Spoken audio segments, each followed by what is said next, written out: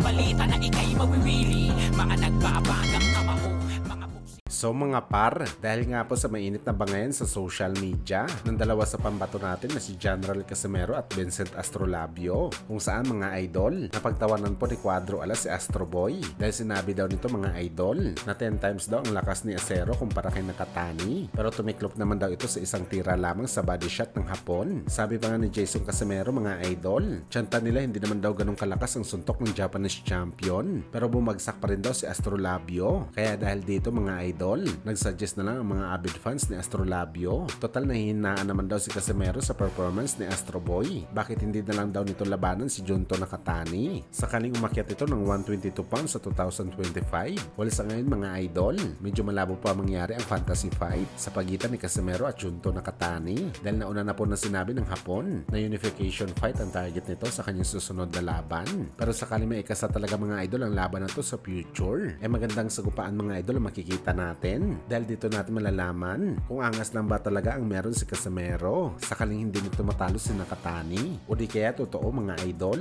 napapatunayan nito na ibang level siya kumpara kay Astrolabio kapag tinalo niya ang Japanese boxing superstar.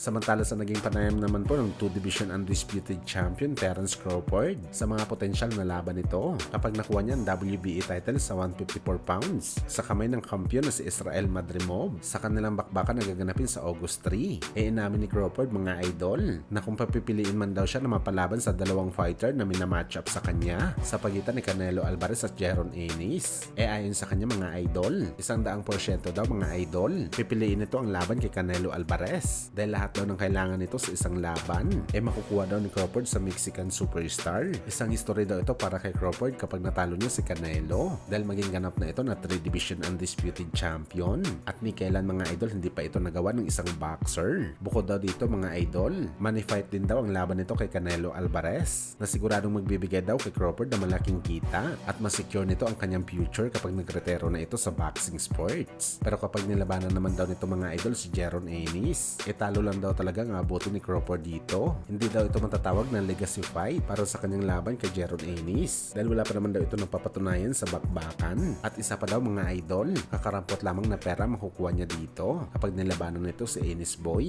Malayo ito kumpara kay Canelo Alvarez na isang pay-per-view king.